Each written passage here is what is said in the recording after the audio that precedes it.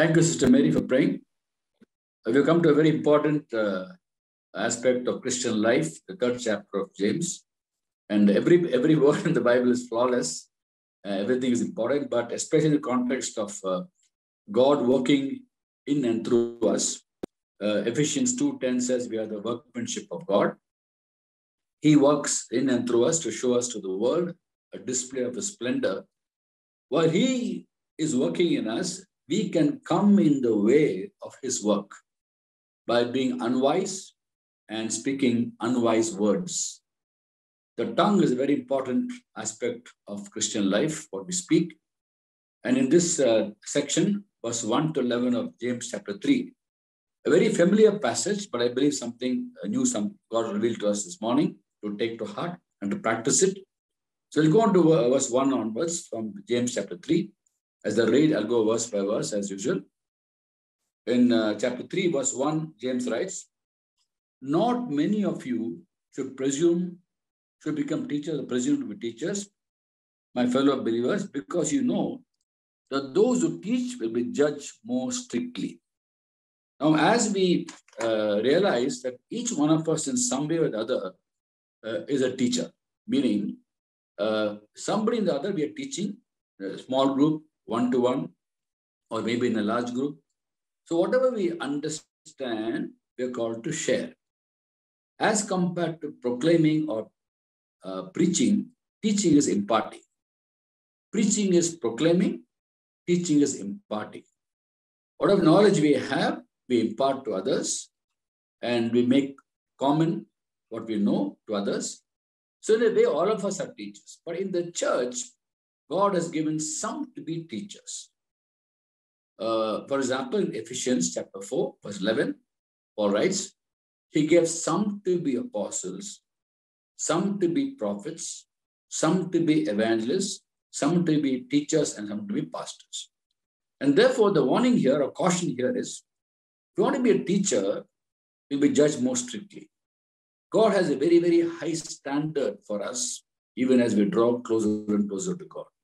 Sometimes people ask this question Moses led Israel from Egypt, people of Israel from Egypt all the way to Israel. One act of indiscretion, he lost his school by the waters in Meribah. And all because of that, God said, You will not enter the land of Canaan. Is this not being unfair? People ask me.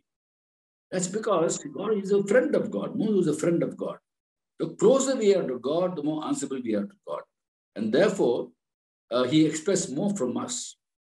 You know, in the Old Testament, Amos chapter 3, verse 2, it's written, God says to his people, You only have I chosen among all the families of this earth.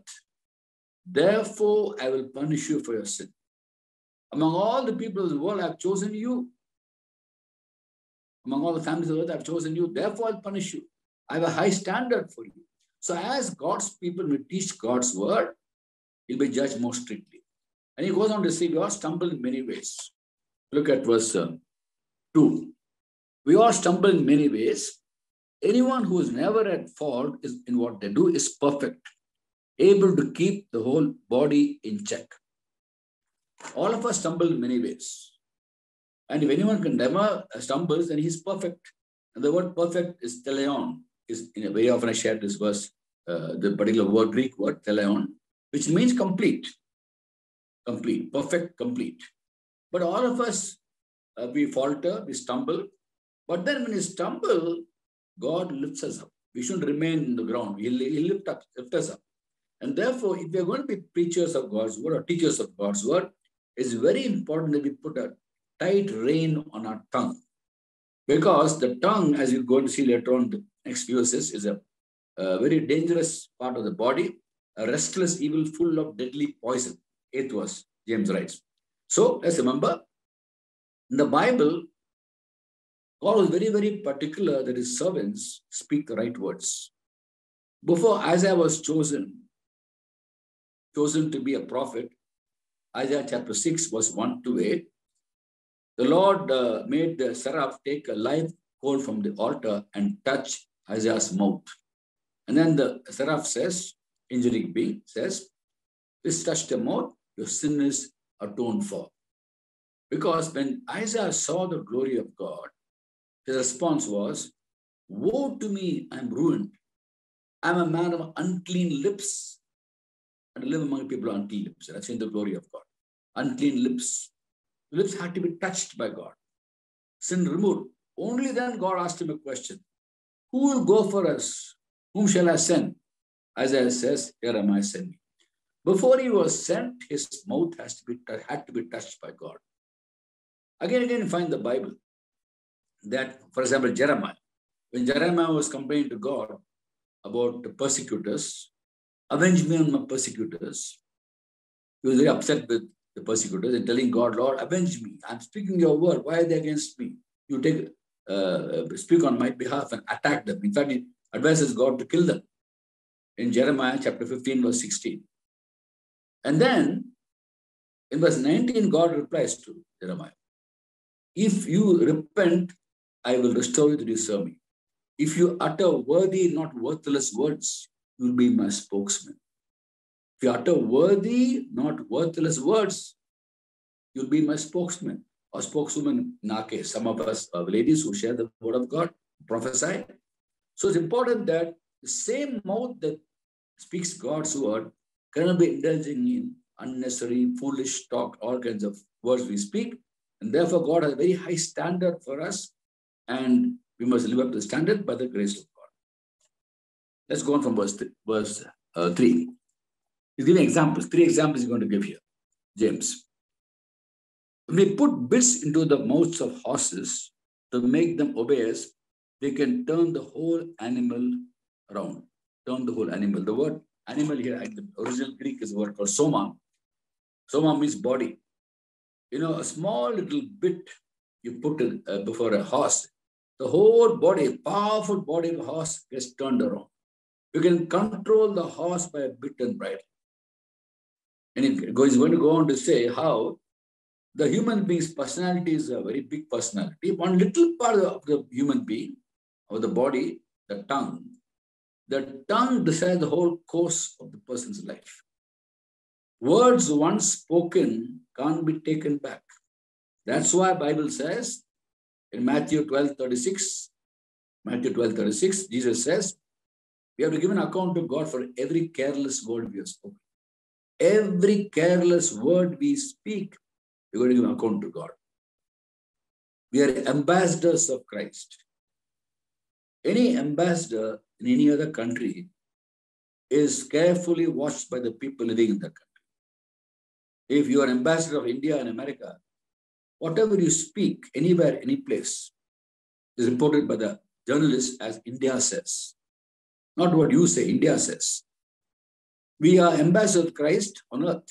So every word we speak, people take careful note of.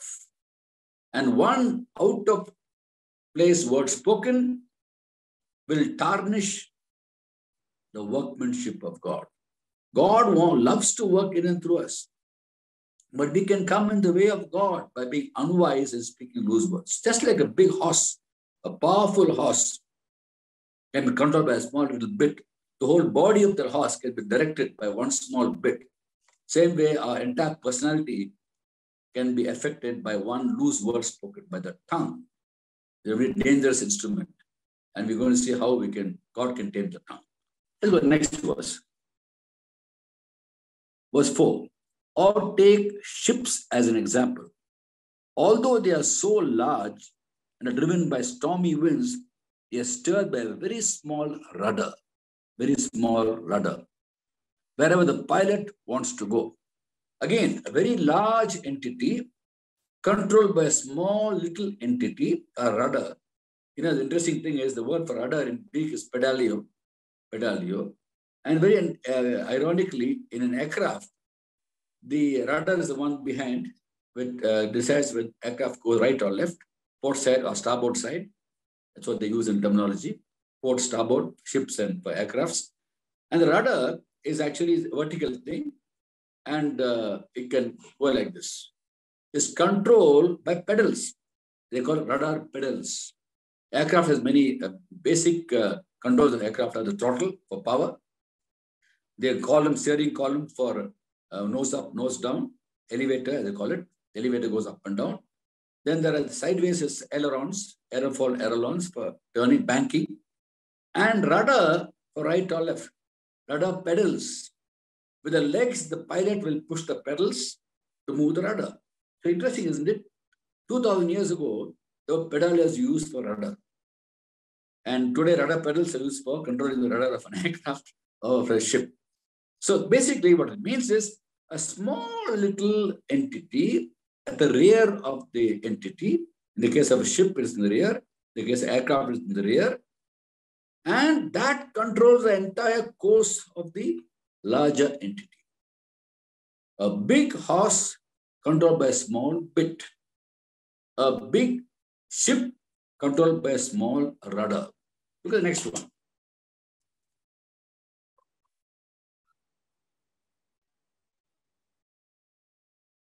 Verse 5.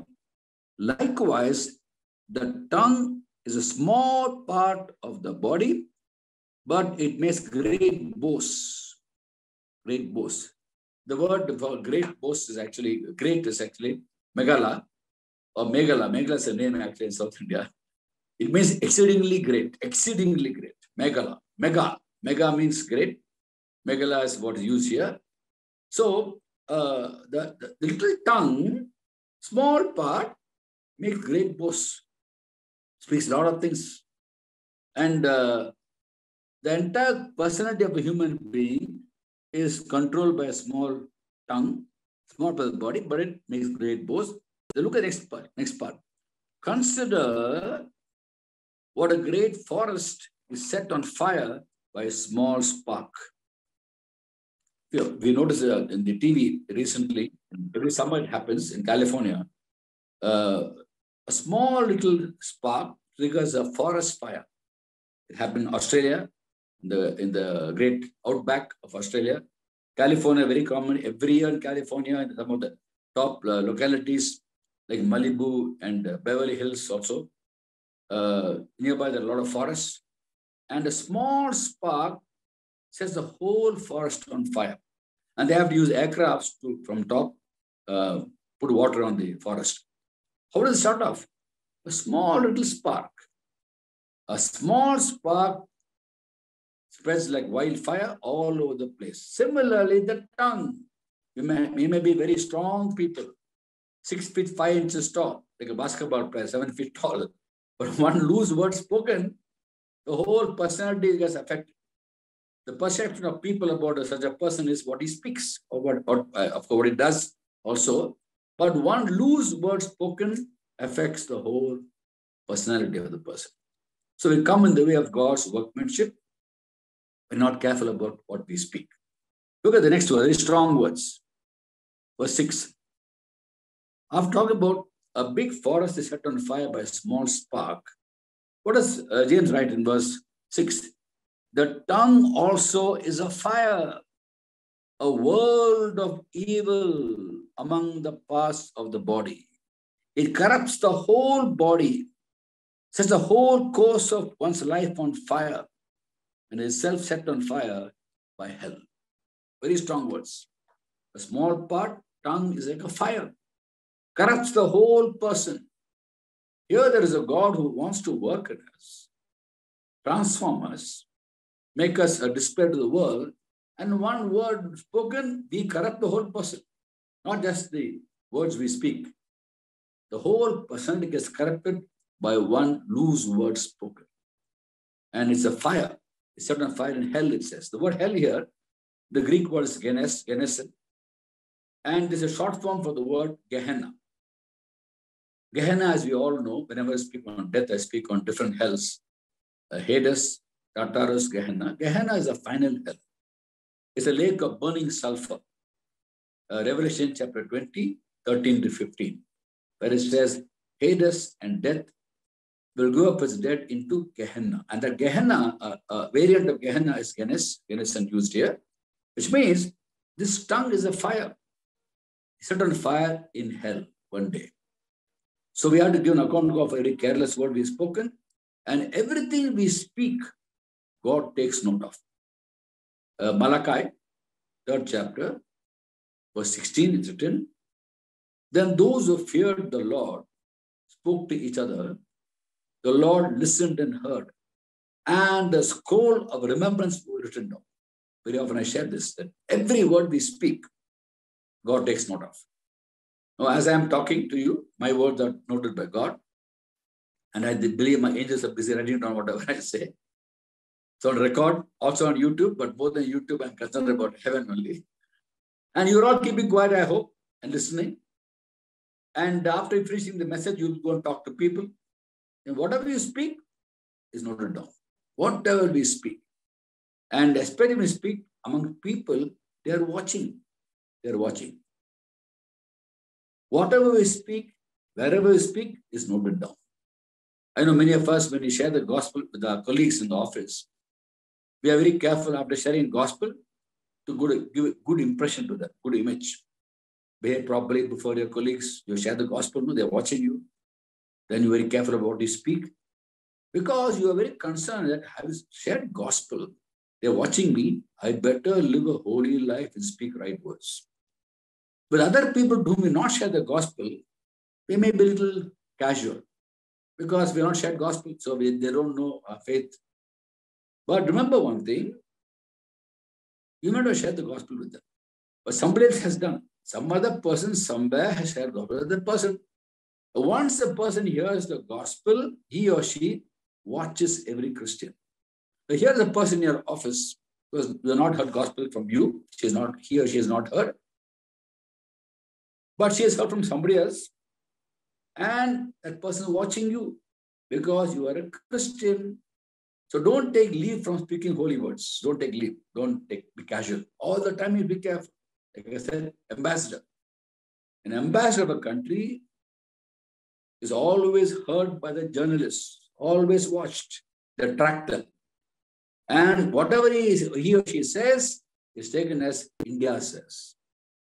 And therefore, while God is working in us to show us to the whole world as witnesses, we may be careful about this tongue, which is a dangerous part of the body. Very restless, evil, full of deadly poison. Okay, let's go on from here. Uh, verse 7. All kinds of animals, birds, reptiles, and sea creatures are being tamed and have been tamed by mankind. But no human being can tame the tongue. No man can tame the tongue. It's a restless evil, full of deadly poison. Full of deadly poison. Have you heard this term? People saying, oh, this person has got a venomous tongue. Venomous tongue. A secular saying it is. But look at the scripture what it says. Full of deadly poison. He poisoned people by slandering them, gossiping about them, encouraging malicious talk, cursing them, full of deadly poison. Restless evil, full of deadly poison. Restless means you can't keep quiet. Unless you speak things to pull people down, then you don't feel uh, comfortable. But as Christians, we can't feel comfortable when we speak loose words. Ephesians chapter 4, verse 29. Don't let any unwholesome talk come out of your mouth. But only what is useful for building up others, according to this, it will benefit those who listen. Don't let any unwholesome talk. Unwholesome talk means talk that pulls down people, malicious people, malicious talk against people, to never come out of our mouths. Rather, instead of that, we speak words of edification to build up people. Now, this term, no man can tame the tongue, can be very, very intimidating. No man can tame the tongue. So, how can I make uh, tame my tongue? Maybe on December 31st, we make a New Year resolution. No, New Year resolution. From next year, I will not gossip. I will not slander. Within two, two weeks after that, slander and gossip. No man can tame the tongue. But praise God, what man cannot do, God can do. So give your tongue to the Lord, not just tongue. Give your heart, your ears, and your eyes to God. Because what we speak comes from the heart. Jesus said, So what goes man's mouth that makes him unclean? What comes out of his mouth makes him unclean. 12th chapter of Matthew, verse 34, Jesus says, From the abundance of the heart, the mouth speaks. From the abundance, overflow of the heart, the mouth speaks. So we can't control our tongue because a heart is full of all kinds of things. The venom is not really in the mouth, it's in the heart. Poison. Full of deadly poisons. Because the heart has filled with all kinds of unwanted things. Very often I talk about the 14 things that Jesus spoke about, which are in the hearts of men. When you compare Matthew 15, 19, Matthew 15, 19, with Mark 7, 22, we identify, Jesus identified 14 different things in the hearts of men. Matthew 15, 19, evil thoughts, murder, adultery, evil thoughts, murder, adultery, sexual morality, theft, false testimony, and slander. And Mark 7 22 talks about greed, malice, envy, greed, malice, deceit, greed, malice, deceit, lewdness, envy, arrogance, folly. They're all in the heart. That's why we speak and we can't control our, our, tongue. The tongue speaks what is in the heart. When you circumcise the heart of all these things and fill our hearts with the word of God, what happens? From the overflow of the heart, the mouth speaks. What does the mouth speak? The word of God. If you keep on hearing God's word, reading God's word, a heart is full of God's word. There's a saying in computer technology, last in, first out. In a, in a, computer storage, memory storage, last in, first out. What memory is full of many things, and you keep on storing things. What comes last, first thing can go away. What are the first things? The 14 things are in the heart.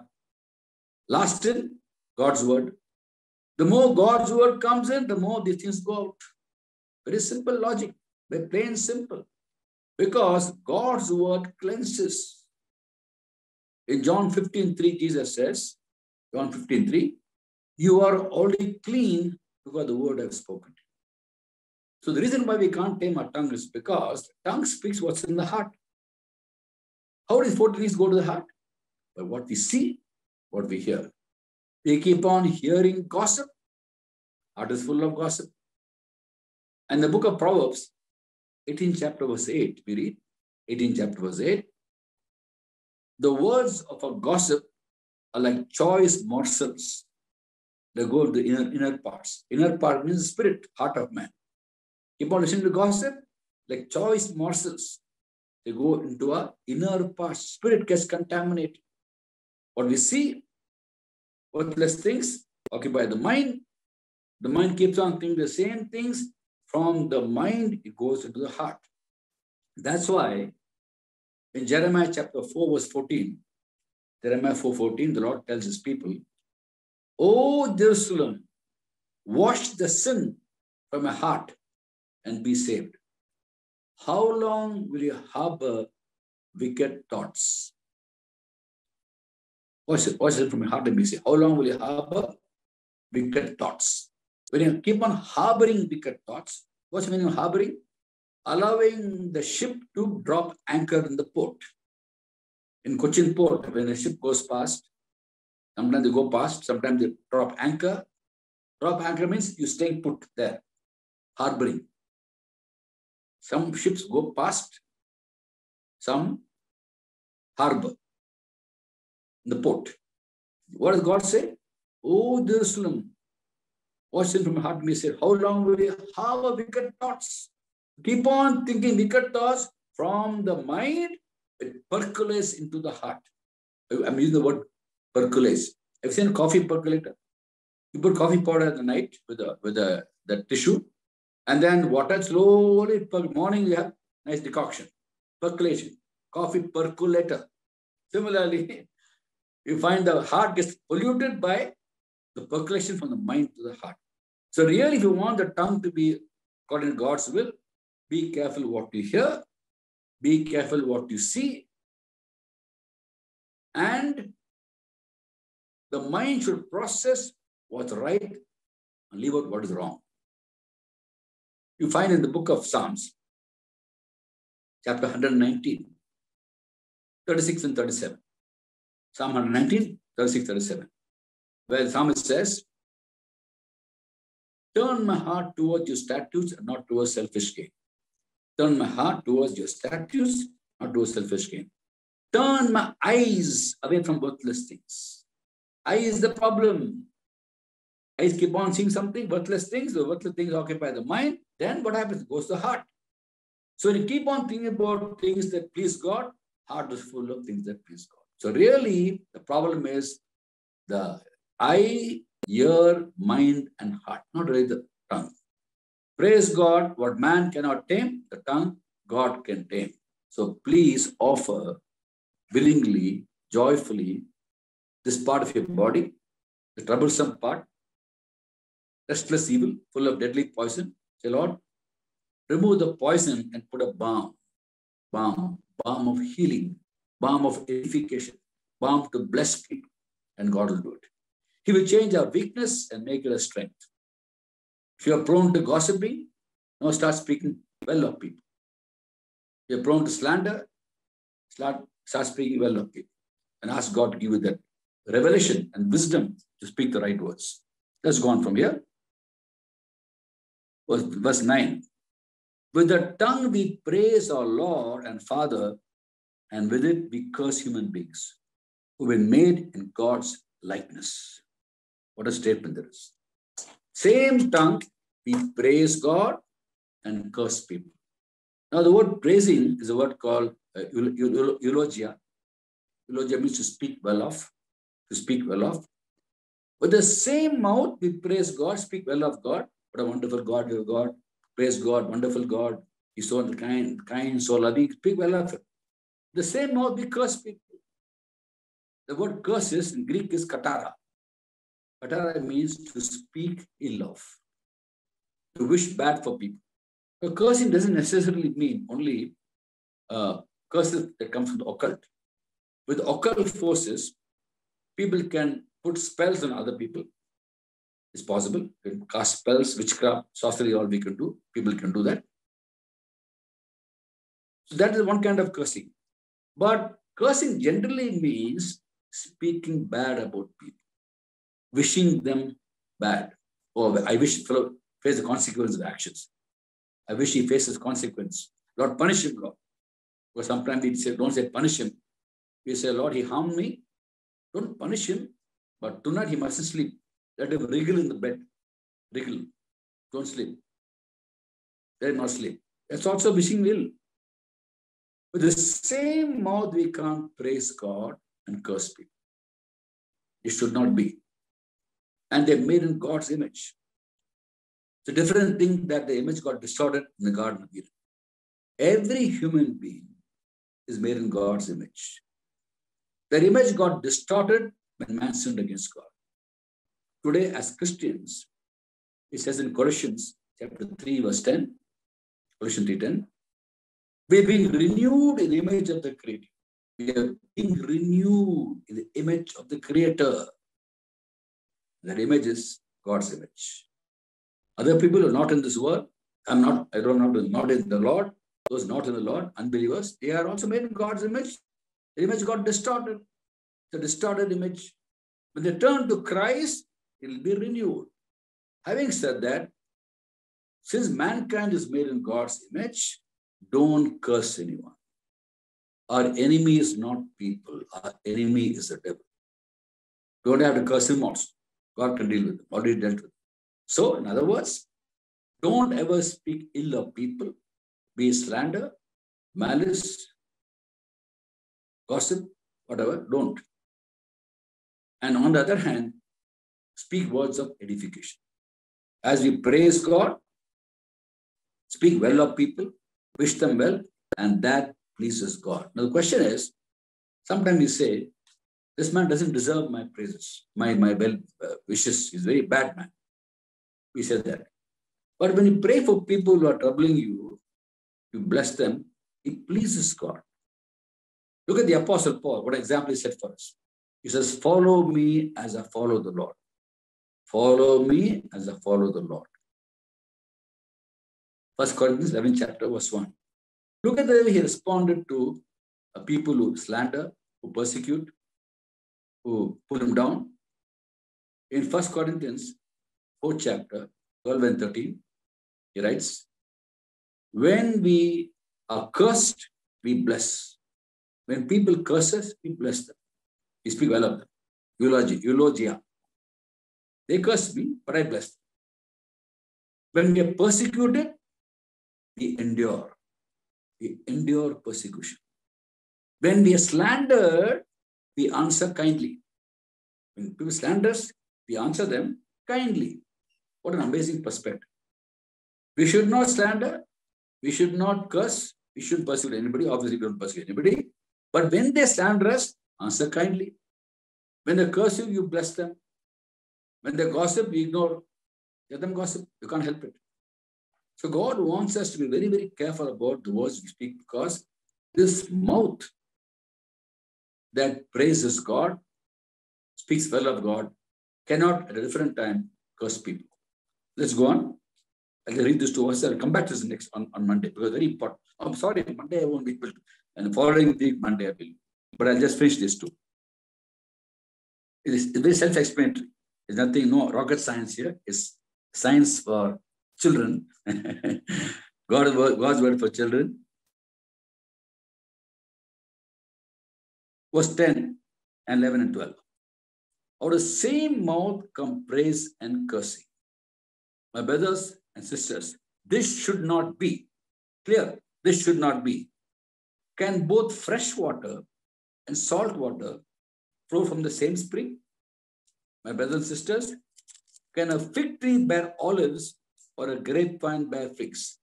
Neither can a salt spring produce fresh water. Oh, beautiful. Very simple. For children, it is. You are a child of God. You praise God. How can you curse people?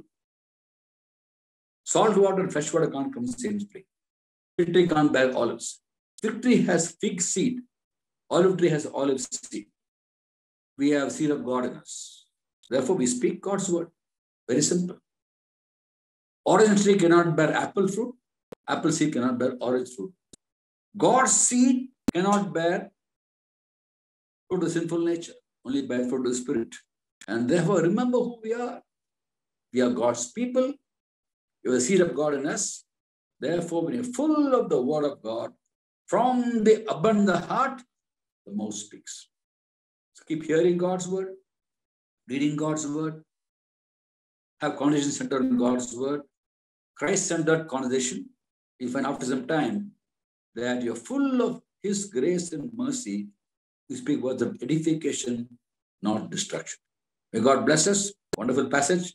And if any questions you have, you can ask on next time we meet also, because I'm always uh, amazed by this passage and it's always a mirror for me that be very careful about what you speak. We are all servants of God. your teachers, and you must be very careful about what we speak. God bless you all. We'll meet again. Uh, I'm going to be, I'm going to miss you all. the Zoom session next week. I'll be in Pune, but we'll be coming back uh, on uh, on the 18th 18th morning. We'll have the next morning Bible. God bless you.